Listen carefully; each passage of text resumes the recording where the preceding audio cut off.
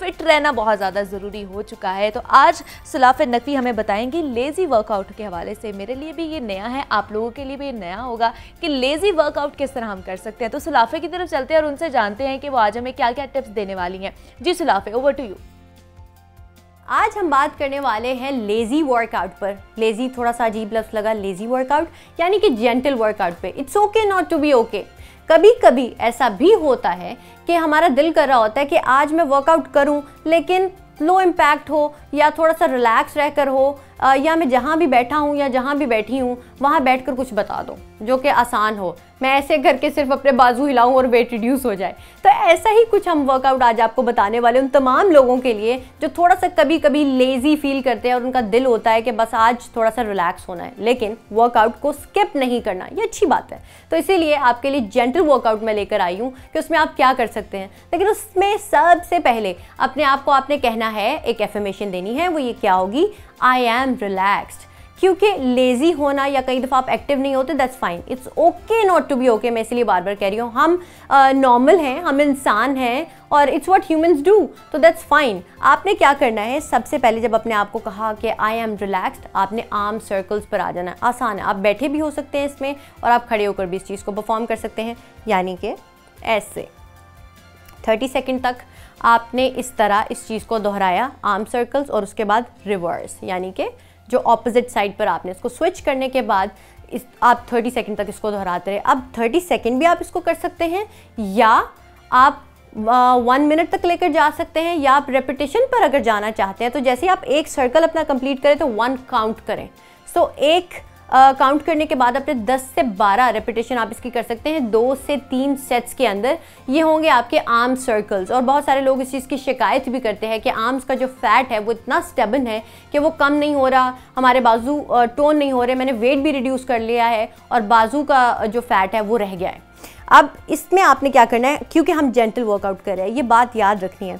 इसमें क्या होगा? काव रेजेज उसमें आपने क्या करना है?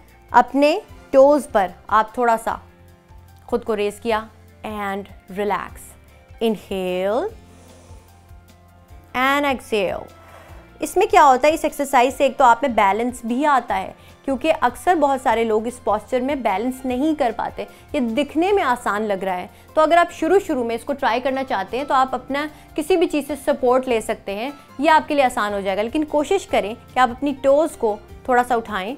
एंड देन रिलैक्स थोड़ा सा उसमें पॉज ज़रूरी है, ताकि जो फैट है, जो अक्सर हमारा होता है काज पर फैट रह जाता है तो वो थोड़ा सा कम होना शुरू हो जाए। अब हम आ जाते हैं फ्लोर पर। फ्लोर पर कौन सी आसान एक्सरसाइज है जो आप कर सकते हैं जब आपके लेजी डेज़ चल रहे होते हैं? आप यहाँ पर आए, हम करेंगे आप मर्मिड सर्कल यानी कि लेग्स की वो मूवमेंट होगी जिस तरह आप या तो पानी में है, यानी कि स्विम करें बट सिंगल लेग से, ये कैसे हो सकता है? वो इस तरह हो सकता है। आपने कंफर्टेबल पोजिशन में आ पाए जो ये आपकी नीचे वाली लेग होगी, आपने उसको यहाँ पर आपने उसको लॉक कर लिया, या आपने इसको बेंड कर लिया। और उसके बाद बिल्कुल स्विमिंग के एक स्टाइल में, इसीलिए इसको मर्मिड सर्कल्स बोलते हैं, इस तरह से आप मूव करते रहे। थर्टी सेकेंड तक या वन मिनट तक आप इस चीज़ को दोहरा सकते हैं, और जैसे ही आप इस एक्सरसाइज को कर लें, आपने रेज करने पर आ जाना, यानी लेग रेजेस पर, जो कि स्टैंडर्ड हमारे लेग रेजेस होते हैं। ये चीज़। अब थोड़ा सा हम चाहेंगे, थोड़ा बहुत तो इंटेंसिटी की तरफ़ जाएँ तो कोई बात नहीं लेज़ी डेज़ हैं, मगर फिर भी हम इसमें आएँगे बोट पर। बोट में क्या करेंगे? यहाँ रहे, लेकिन अपनी बाजुओं को इसमें इन्वॉल्व रखेंगे। इस पोजीशन में जब हम आते हैं तो हमारा कोर इंगेज होता है। और ये वैसे भी बोर्ड पोज जो है, उन तमाम लोगों के लिए बहुत अच्छा है, जो बेली फैट की शिकायत करते हैं। आप यहाँ आए और आपने इसको मूव करना शुरू किया। वन टू थ्री आप इसको काउंट करते रहें अगर तो काउंट करने के साथ साथ आप 30 सेकंड तक इसको कर सकते हैं, या 10 से 12 रेपिटेशन और दो से तीन सेट्स के अंदर आप इसको दोहरा सकते हैं।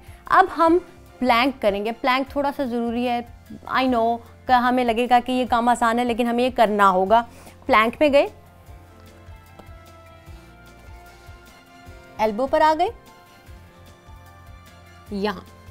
अपने कोर को स्क्वीज करके रखना है। बैक में किसी किस्म का हंच नहीं होना चाहिए बेंड नहीं होना चाहिए। प्लैंक में रहने के बाद 30 सेकेंड से वन मिनट तक जैसे ही आप इसके अंदर रहे, आपको लग रहा है कि बहुत हो गया है। दो से तीन दफ़ा आप इसको दोहराना होगा आपको इसको, और इसमें आप जाएँगे आप ब्रिज पोज में। ब्रिज पोज आपको बहुत हेल्प कर सकता है। जब आप चाह रहे लेज़ी डेज़ है तो कोई ऐसी एक्सरसाइज हो जो फ़ौरन से मेरी बॉडी को टोन करना शुरू कर दे और वेट भी रिड्यूस हो। अगर आप इसको प्रॉपर वे में करते हैं तो। ब्रिज पोज ऐसे होता है कि आप फ्लोर पर इस तरह से आए, आपने अपनी लेग्स को किया वाइड यहाँ पीछे चले गए। रिलैक्स रहे। अब लोअर बॉडी जो होगी, उसको आपको उठाना होगा, वो किस तरह से? यहाँ। Inhale and exhale again inhale and exhale कुछ देर का पॉज आप ऊपर जाकर देंगे। एंड एक्सेल ये ब्रिज पोज हम जेंटल वर्कआउट में क्यों शामिल कर रहे हैं? ये सवाल है। इसीलिए कि जब आप ब्रिज पोज करते हैं या कोई भी ऐसी एक्सरसाइज करते हैं जिसमें आपकी लोअर बॉडी या लेग्स इन्वॉल्व होती हैं तो ये आपकी बॉडी का बिगेस्ट मसल होता है। इससे आपका वेट रिड्यूस भी होता है और आपकी फुल बॉडी इसमें इन्वॉल्व होती है। तो ये चीज़ आपको इसीलिए उसमें हेल्प करेगी। um, जब भी हम जेंटल वर्कआउट की बात कर रहे होते हैं तो सबसे आसान क्या होता है? वो होती है साइड स्ट्रेच बैठे बैठे वो होगी ये। Inhale and exhale. Inhale. And exhale. दूसरा, एक चीज़ बैठे बैठे क्या कर सकते हैं? हमने आर्म सर्कल्स किए थे।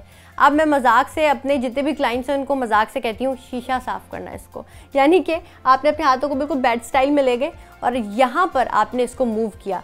या अगर ये एक्सरसाइज आपको थोड़ी सी टफ लग रही है या आप इसको इंटरेस्टिंग बनाना चाहते हैं तो आप इसको सी सर्कल में करेंगे।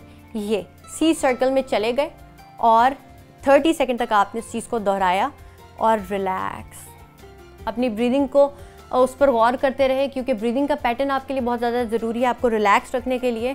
याद रहे कि कभी कभी इंसान ऐसा होता है कि दिल कर रहा होता है, चलो वर्कआउट स्किप ना करूँ, लेकिन रिलैक्स रहना चाहता हूँ। तो उस दिन आप ये वर्कआउट कर सकते हैं और आपको वो हेल्प भी करेगा, लेकिन आपको कंसिस्टेंट रहना होगा।